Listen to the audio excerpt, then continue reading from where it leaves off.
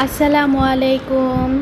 Welcome to Snigdha's world welcome Snigdha's ওয়ার্ল্ডের আরও একটি নতুন ভিডিওতে। হ্যাঁ বন্ধুরা, আজকে আরেকটি নতুন রেসিপি নিয়ে হাজির হয়ে গেছি তোমাদের মাঝে। আর আজকের রেসিপিটি কিন্তু ভীষণ দুর্দান্ত মজার একটি রেসিপি তো বুঝতেই পেরেছ, আজকের রেসিপিটি হচ্ছে লোটে মাছের ঝুড়ি ভুনা করব। তো লোটে মাছটাকে আমি প্রথমেই কেটে ভালো করে ধুয়ে পরিষ্কার করে নিয়েছি। এরপর হচ্ছে মাছটাকে ভাজার জন্য আমি হচ্ছে হলুদ গুঁড়া, মরিচ গুঁড়া আর লবণ মাখিয়ে নিব। মাখিয়ে ভালো করে আমি হাত দিয়ে মাখিয়ে নিচ্ছি। মাখিয়ে হচ্ছে মাছটাকে আমি ভেজে নিব।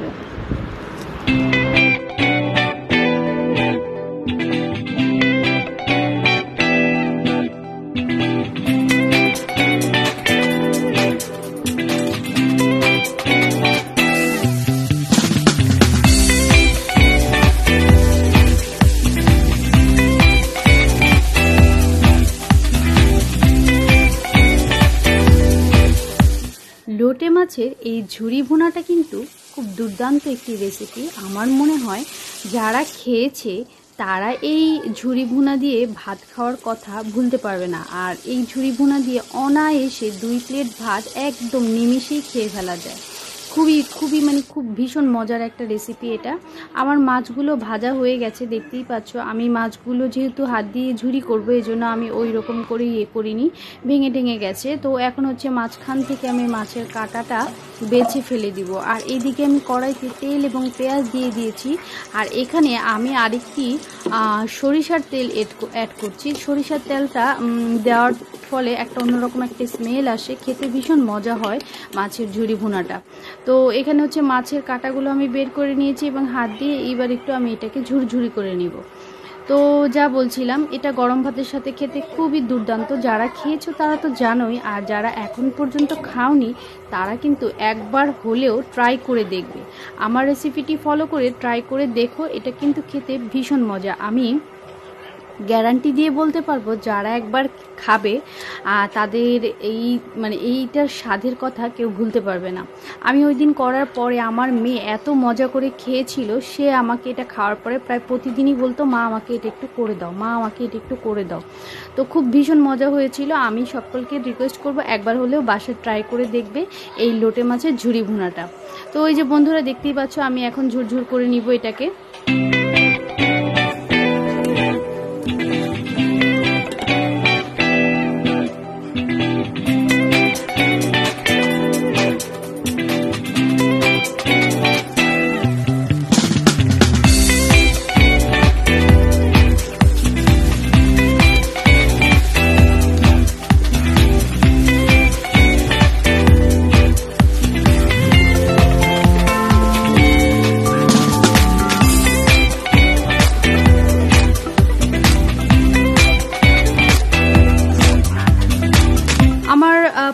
পেঁয়াজটা তেলের মধ্যে মোটামুটি ভালো করে ভেজে নিয়েছি আমি একদম। এখন হচ্ছে আমি গুঁড়ো মশলাগুলো অ্যাড করছি। আমি হচ্ছে হলুদের গুঁড়ো দিয়ে দিলাম একটা চামচ, মরিচের গুঁড়ো দিয়ে দিলাম একটা চামচ, ধনিয়া গুঁড়ো দিলাম একটা চামচ, আর জিরার গুঁড়ো দিলাম একটা চামচ। এরপর হচ্ছে আমি একটু পানি দিয়ে ভালো করে মশলাটাকে কষিয়ে নিব। ভালো করে কষিয়ে নিচ্ছি আমি এখানে। আর হচ্ছে কি একটু চুলার আঁচ কমিয়ে কষিয়ে নিবে। আর যে সকল বন্ধুরা আমার ভিডিওটি দেখছ যদি আমার ভিডিওটি তোমাদের কাছে ভালো লাগে, তাহলে রিকোয়েস্ট থাকবে আমার ভিডিওটিতে লাইক কমেন্ট করবে এবং অবশ্যই যাওয়ার আগে আমার চ্যানেলটিকে সাবস্ক্রাইব করে যাবে। আমার চ্যানেলটিকে সাবস্ক্রাইব করে পাশে থাকা বেল বাটনটি অন করে দিবে। এতে আমি যখন যে ভিডিওটি আপলোড করব, সাথে সাথে তোমাদের কাছে নোটিফিকেশন পৌঁছে যাবে। আর হ্যাঁ বন্ধুরা, দেখতেই পাচ্ছ, আমি অফ ক্যামেরায় চার পাঁচটা রসুনের কোয়া এটার মধ্যে দিয়ে দিয়েছিলাম। এইভাবে রসুনের কোয়া দিলে তরকারি বা যে কোনো কিছুর মধ্যে স্নিগ্ধের আব্বু আবার খেতে ভীষণ পছন্দ করে। আর এই ভুনাটার মধ্যে রসুনের কোয়া দিলেও কিন্তু ভীষণ মজা হয়। তো এ পর্যায়ে এসে আমি হচ্ছে মাছগুলো দিয়ে দিলাম মশলার মধ্যে। এখন হচ্ছে আমার কাজ হচ্ছে চুলার আঁচ কমিয়ে দিয়ে আমি হচ্ছে মাছগুলোকে নাড়তে থাকব। ভালো করে মশলার সাথে মিশবে এবং একটু ভাজা ভাজা হবে। যতক্ষণ পর্যন্ত না এই ইয়েটা থেকে তেল বের হবে মানে তেলগুলো উঠবে ততক্ষণ পর্যন্ত আমি নাড়তে থাকব।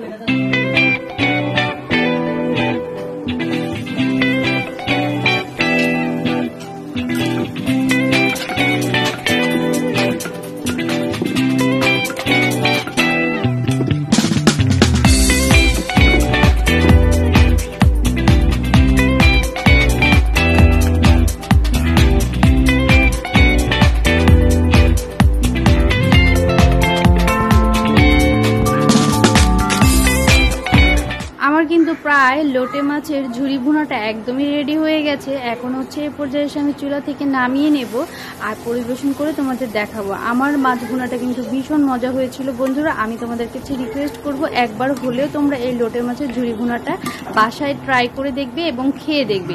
আর অবশ্যই আমাকে কমেন্ট বক্সে জানাবা যে তোমরা কেমন রেঁধেছো বা কেমন খেতে হয়েছে তোমাদের ঝুরি ভুনাটা। তো আজকে আর বেশি কথা বলব না, এই পর্যন্তই রাখব। আশা করি আমার রেসিপিটি ভালো লেগেছে। আর এরকম রেসিপি তোমরা যদি আরও চাও, তাহলে কিন্তু কমেন্ট বক্সে আমাকে জানাবা।